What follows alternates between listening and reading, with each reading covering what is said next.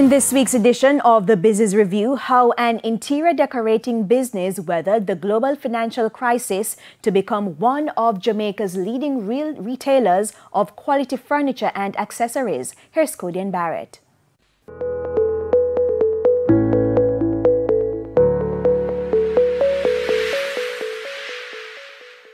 It might look small on the outside, but Spaces Jamaica Limited in Arden Emirates on Arden Road has a large history.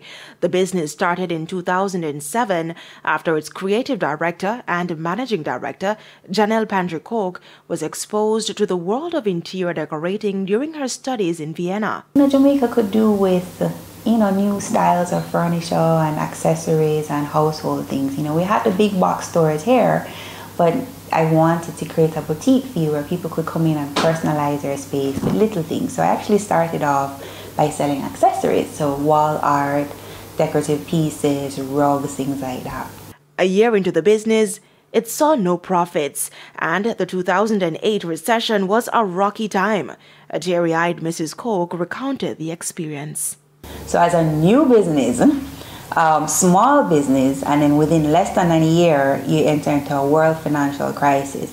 It was a point in, in business that I just had to adapt and quickly change the method that we were doing. I had to change how we were sourcing stuff, um, add new products and services so that we would be able to be competitive, to stay afloat, and that we could ride out the storm that we didn't know how long was going to last. But a light at the end of the tunnel, persons started showing interest in the furniture that was used to accentuate the accessories.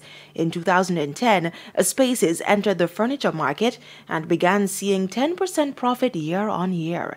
Then, the overall decor of the showroom sparked customers' interest in having their personal spaces decorated, a demand which jumped in the COVID 19 pandemic everyone was, was spending more time at home. So naturally, you looked at a space that before it was okay. but now you're spending, you're working from home, your kids are home. If you have a spouse, your spouse is at home. So, you know, you probably needed to multi-purpose a space. So for 2021, we actually saw revenue increase like by about 20%. Um, you know, and this is a time where a lot of businesses were closing, were folding, um, we're seeing revenue dip. Over the past 15 years, the business has seen incremental growth, moving from a retail store to an interior decorating and designing store with 2,000 square feet of showroom space.